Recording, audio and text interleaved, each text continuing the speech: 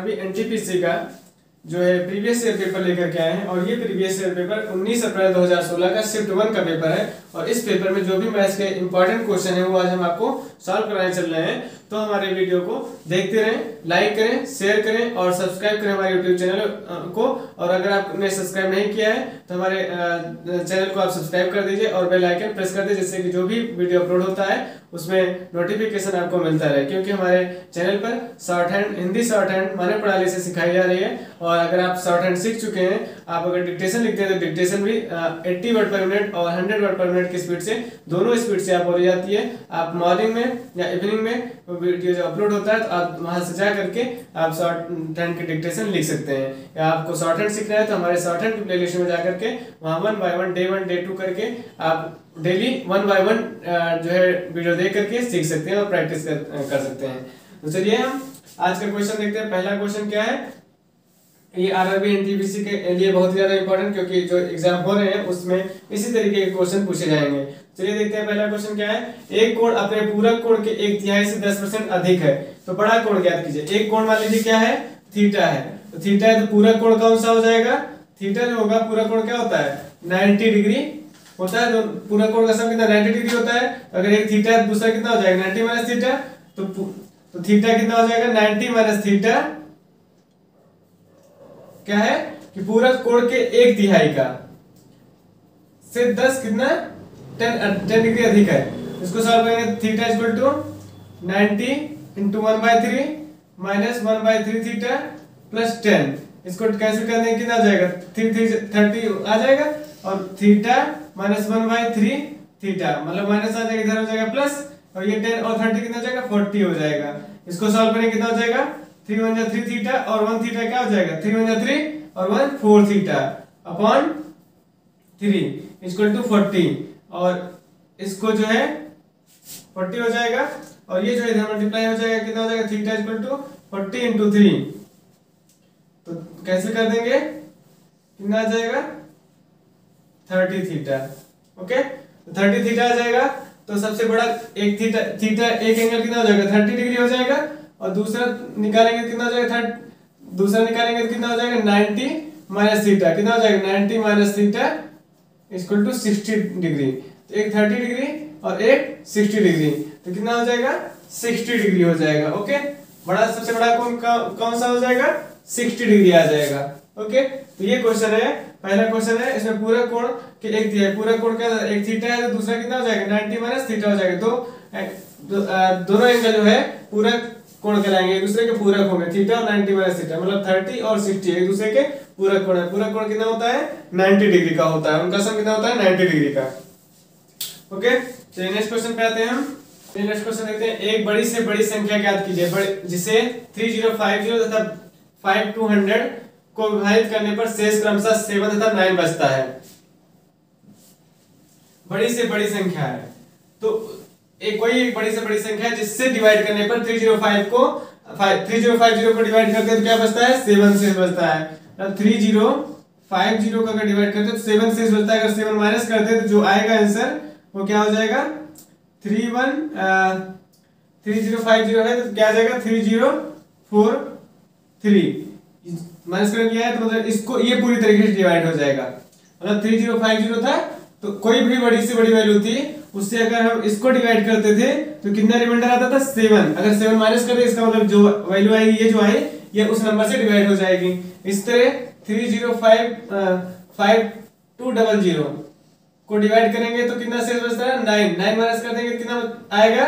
वो हो जाएगा फाइव और नाइन वन मतलब ये दोनों वैल्यू डिवाइड हो जाएगी पूरी तरीके से, वो बड़ी से बड़ी संख्या निकालने पर. तो बड़ी से बड़ी अगर है तो अगर हाईएस्ट कोई बड़ी से बड़ी वैल्यू निकालने के लिए कहा जाए तो एससीएफ फाइंड करते हैं। क्या फाइंड करते हैं? एससीएफ उसके लिए दोनों का हमें फैक्टर निकालना पड़ेगा। 3043 को डिवाइड करें किससे? 17 से करें पहले। क्योंकि 3 से होगा नहीं। और 3 से नहीं होगा 9 से नहीं होगा। और इसलिए 17 से हम देखते हैं। 17 वन जा 17 और कितना हो जाएगा? 17 वन जा 17 और ये 30 माइनस कर देंगे कितना हो जाएगा? थर्टीन और सेवनटीन सेवन जा सेवनटीन सेवन जा और सेवनटीन नाइन जा वन फिफ्टी थ्री फिर ये आ जाएगा, ये ऑड वैल्यू आ गई, ये वन सेवेंटी नाइन 179 3 से डिवाइड नहीं होगा, ये 179 डायरेक्ट डिवाइड होगा।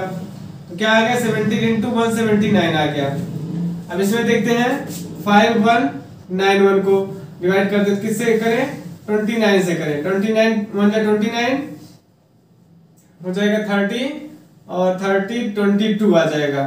फिर आ जाएगा 7 7 जा और नाइन जा 179 इससे भी करेंगे तो आ जाएगा 29 into one seven nine SCR निकालने क्या होता है? हाईएस्ट कॉमन फैक्टर दोनों में सबसे बड़ा कॉमन फैक्टर कौन सा है? 179 179 मतलब 179 ऐसी बड़ी से बड़ी वैल्यू है जिसमें दोनों से डिवाइड करने पर मतलब इसमें डिवाइड करेंगे तो सेवन रिमाइंडर आएगा, इसमें डिवाइड करेंगे तो नाइन रिमाइंडर आएगा। चाहे डिवाइड करके चेक कर ले। इसको इस तरीके से सॉल्व करें। अगर कभी बड़ी से बड़ी संख्या निकालने के बोला जाए तो हमेशा एससीएफ फाइंड करेंगे। क्या फाइंड करेंगे? एससीएफ फाइंड करेंगे और उस क्वेश्चन में का ये दो नंबर है, इसको बड़ी से बड़ी संख्या डिवाइड करने पर इतना शेष बचता है। तो जो शेष बच रहा हो, उसको माइनस कर लेंगे। तभी हम उसका एससीएफ निकालेंगे तो क्या आएगा? वो बड़ी से बड़ी संख्या आएगी क्योंकि जो रिमाइंडर होता है वो डिवाइड करने पर बचता है। तो अगर हम जितना रिमाइंडर है तो माइनस कर दे तो जो वैल्यू आएगी वो बड़, उस बड़ी से बड़ी संख्या से पूरी तरीके से डिविजिबल होगी। ओके इस तरीके से हम इसको सॉल्व कर सकते हैं। ओके नोट करें Delhi metro 48 kilometre per hour की औसत चाल से चल रही है कितने? 48 किलोमीटर पर आर की स्पीड से चल रही है। और वो एक चालीस मिनट में तय करती है। कितना? 48 किलोमीटर पर आर की स्पीड से चल रही है। और वो 30 सॉरी फोर्टी मिनट में तय करती है कितने एक दूरी है। तो इतने स्पीड से जा रही इतने दूरी कितने मिनट में? फोर्टी मिनट में तय करती है। तो कितनी दूरी तय करेगी? तो क्या होता है, speed equal to distance upon time. ठीक है? तो एक दूरी तय करती कितनी दूरी कितनी हो जाएगी? दूरी निकालेंगे, डिस्टेंस निकालेंगे, हम क्या करें दोनों को मल्टीप्लाई कर देंगे। अब मान लीजिए ये क्या आ गई? इसको मल्टीप्लाई नहीं करते हैं। ये क्या आएगा? डिस्टेंस आ गया दोनों मल्टीप्लाई करेंगे तो क्या आएगा? डिस्टेंस आएगा। और लेकिन कह रहे हैं कि अगर वही दूरी इसे पूरी दूरी बत्तीस मिनट तय करनी हो तो। यदि इसे पूरी दूरी, उस पूरी दूरी किसने बत्तीस मिनट में। तो हम क्या करें?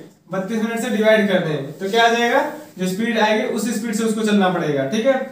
इसको एट फाइव जा एट फोर जा। फोर कितना हो जाएगा? सिक्सटी किलोमीटर पर आवर ठीक है?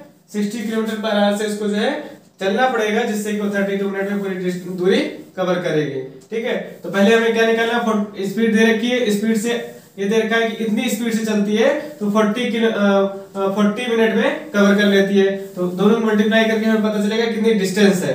अब जो पूरी उस पूरी डिस्टेंस को 32 मिनट में करना है कवर तो 32 से डिवाइड कर देंगे, क्योंकि स्पीड लिए डिवाइड करते हैं टाइम से टाइम से डिवाइड कर दिया, फिर से आगे distance 60 kilometre per hour okay option number कौन सा सही होगा इसमें?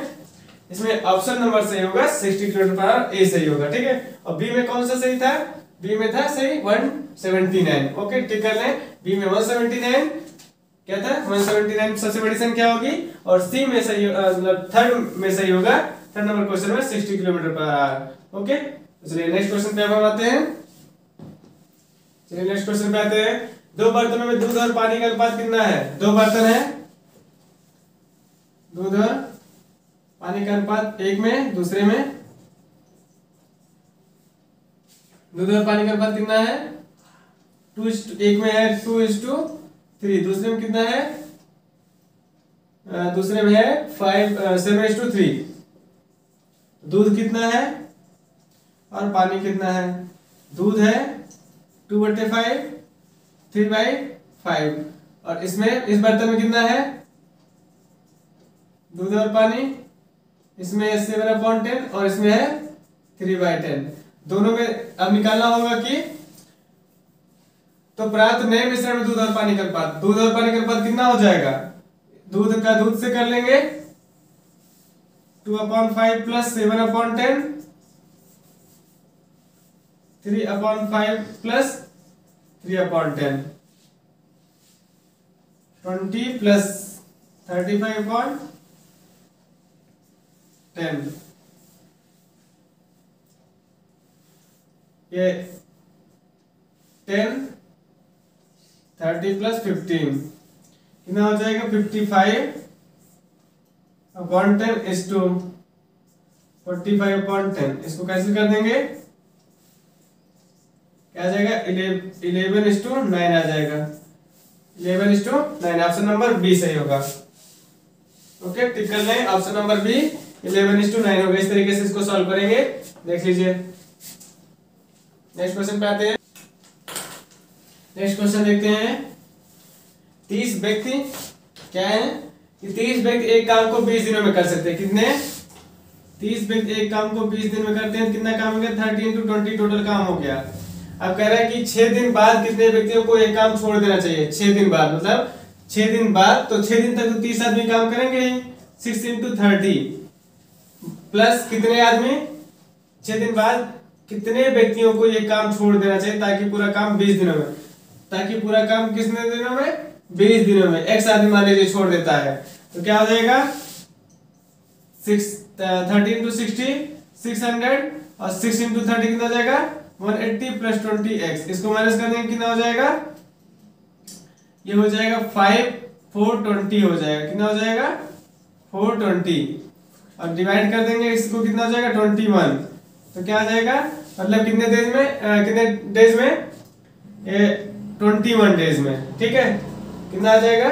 तो इसमें जो है क्या है? X equal to twenty one days तो कितने व्यक्तियों को काम छोड़ देना चाहिए? तीस थे। तो इक्कीस छोड़ दिया तो कितना हो गया?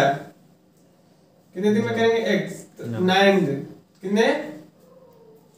अगर छह दिन बाद कितने व्यक्तियों को ये काम छोड़ देना चाहिए? नौ व्यक्तियों को।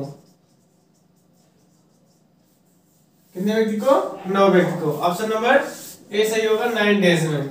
ओके? चलिए नेक्स्ट क्वेश्चन पे आते हैं। चलिए नेक्स्ट क्वेश्चन पे आते हैं। बीस लीटर के एक मिश्रण में दूध और पानी का अनुपात कितना है? फोर इज़ टू वन और कितना लीटर दूध और मिला दिया जाना चाहिए कि अनुपात कितना हो जाए? सोलह। तो अभी कितना है? फोर इज़ टू वन है। मिलाने पर कितना हो जाए? सिक्स अनुपात एक। तो ये दोनों, इन दोनों में कितना डिफरेंस हो गया? ट्वेल्व ट्वेल्व डिफरेंस किसके बराबर हो गया? हो जाएगा ट्वेंटी लीटर एक मिश्रण में दूध और पानी का अनुपात कितना है? Four is to one twelve हो जाएगा? तो ट्वेल्व मिश्रण जो है फाइव किसके बराबर हो जाएगा? ट्वेंटी फाइव के one is to five. Twelve किसके बराबर हो जाएगा? Twelve into five. किसके कितने लीटर बराबर हो जाएगा? कितना? आ, कितना लीटर दूध और मिलाया जाना चाहिए? कितने लीटर मिलाया चाहिए? सिक्सटी लीटर दूध और मिलाया जा मिलाया जाना चाहिए ठीक है? बीस लीटर के एक मिश्रण में दूध और पानी का अनुपात कितना है? फोर इज़ टू वन है।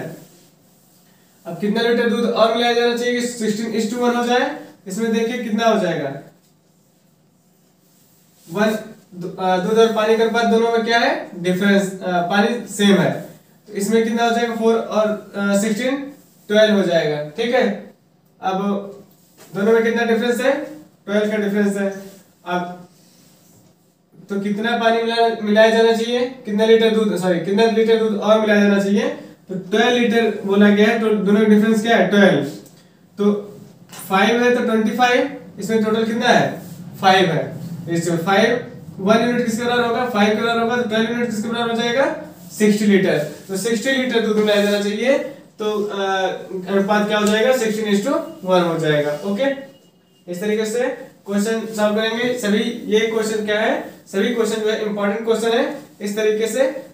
हमारे जितने भी वीडियो हैं, इसमें सभी इंपॉर्टेंट क्वेश्चन जो आरबी एनटीपीसी के प्रीवियस ईयर के क्वेश्चन पेपर में आए हुए थे, वो सभी पेपर हम वन बाई वन सॉल्व करा रहे हैं। तो हमारे वीडियो देखते रहें लाइक करें शेयर करें और सब्सक्राइब करें हमारे यूट्यूब चैनल को। थैंक यू धन्यवाद।